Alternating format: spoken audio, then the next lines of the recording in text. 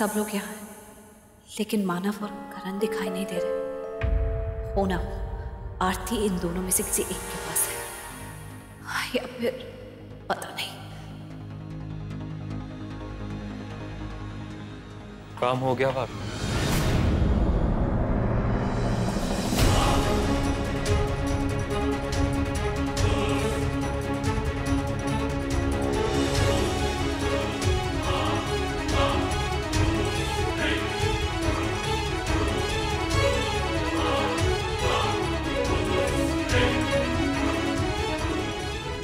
कैसी तबीयत है तुम्हारी जो काम आप करने गई थी वो हो गया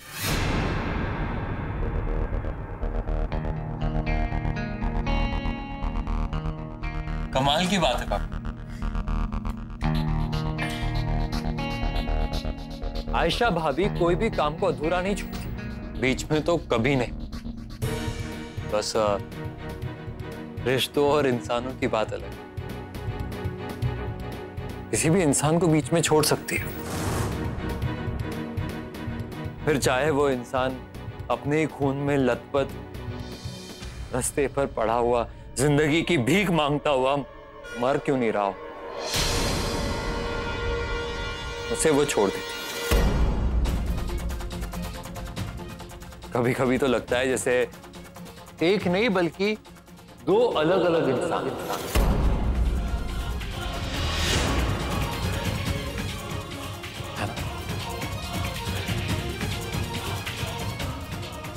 ये कैसी बातें कर रहे हो समाज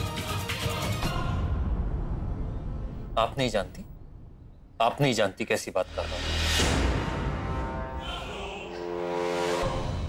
मैंने बहुत कोशिश की थी। तुम ही मेरे पीछे पड़ गए अरे अरे, हुआ क्या है? क्या ऐसी पहलियों में क्या बातें कर रहे हो तुम लोग? पहली तो है पापा। आयशा भाभी का असली चेहरा समझ में ही नहीं आता।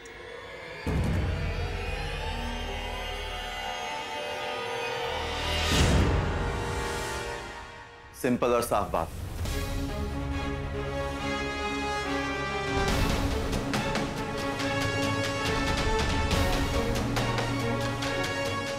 इसकी जैसी सिंपल, सीधी, मासूम, जिसको दुनियादारी की फ़िक्र ही नहीं। आयशा बिल्कुल ऐसी ही है।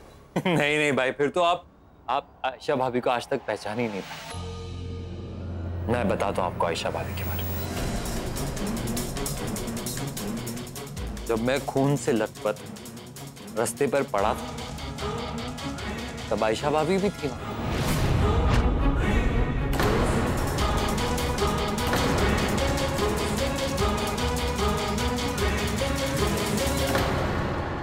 उनके सामने गिड़गिड़ाता रहा, रोता रहा कि आयशा भाभी मुझे बचा लो बचा लो आयशा भाभी प्लीज़ बचा लो मुझे।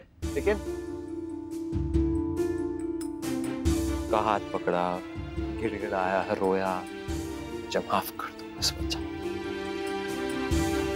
लेकिन आयशा भाभी को ज़्यादा ज़रूरी काम आ गया होगा, है ना? मेरा हाथ छोड़ा और मुझे मरने के लिए वहाँ पर छोड़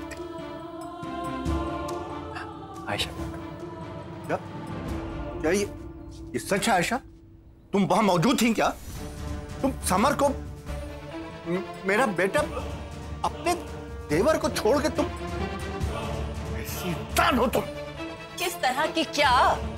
इसलिए तो ये मेरी आँखों में खटकती है ये। इसको तो मैं पहले से जानती हूँ। इसी हद तक गिर सकती है लड़की। और ये क्या राज है? किस किस राज की बात कर रहे हो तुम लोग? तुम्हारी तबीयत ठीक नहीं है। तुम्हें आराम की ज़रूरत है। एग्जैक्टली. जानता था मैं कि आप यही बात करोगे। कि मेरे सिर पे चोट लग गई है, मेरा दिमाग खराब हो गया है। पागल हो गया हूँ मैं, पागलों जैसी बातें कर रहा हूँ तो पागल खाने भेजना चाहेगी मुझे? हाँ। आपको तो आदत होगी पहले भी किसी को पागल प्रूफ करके उसे पागल खाने बेच चुकी हो।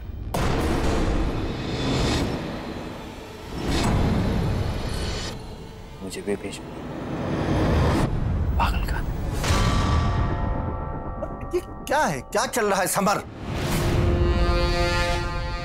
बिना सबूत के तुम मुझ पर इल्ज़ाम कैसे लगा सकते हो? सबूत तो नहीं है। सबूत है। मेरे पास सबूत।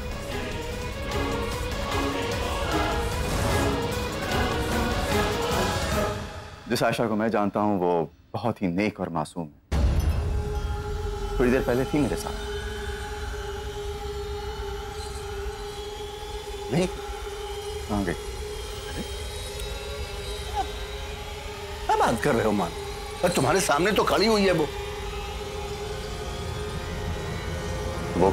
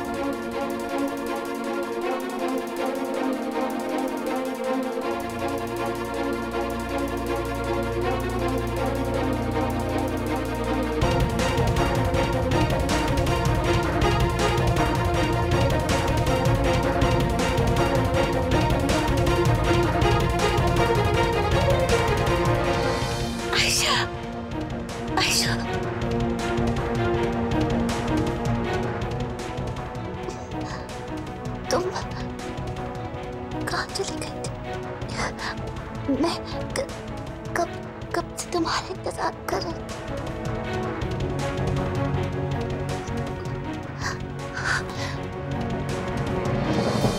आयशा तुम्हें पता है कि तुम्हारे जाने के बाद करण आया था। क- करण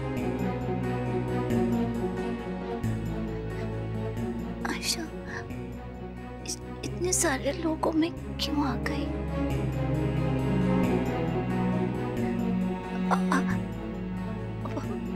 घर चले। अब तो करण भी आ गया है। मुझे यहाँ पर थोड़ी घबराहट हो रही है।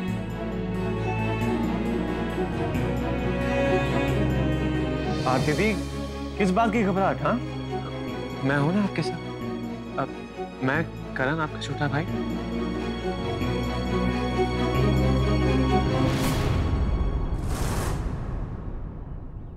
आप मेरे साथ हैं ओके? आपको घबराने की कोई ज़रूरत नहीं है। और और आपको अब बंद कमरे में एक जानवर की तरह कैद करके कोई नहीं रखेगा। मैं आ गया हूँ ना? मैं आपका ख्याल रखूँगा हाँ? चलो कोई ज़रूरत नहीं अकेले रहने की। हाँ, नहीं नहीं। तुम्हें नहीं पता करण लोग कितने गंदे होते हैं।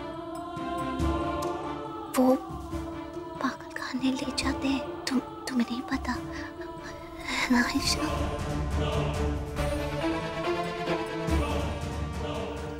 इसको बताओ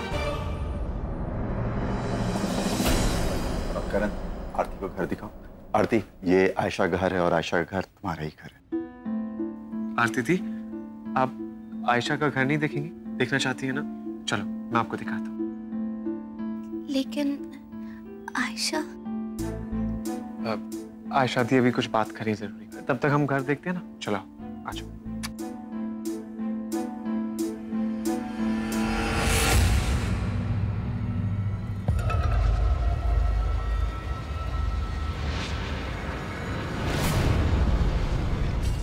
तुम डरो मत आयशा।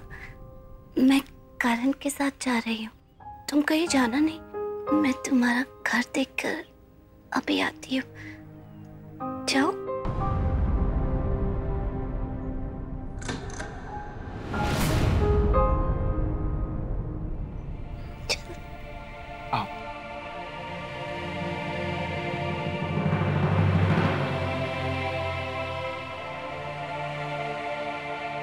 इसी राज को मेरे साथ खत्म करना चाहती थी ना। मुझे पागल प्रूफ करके पागल खाने भेज देना लेकिन आरती तो सबके सामने पेश हो गई।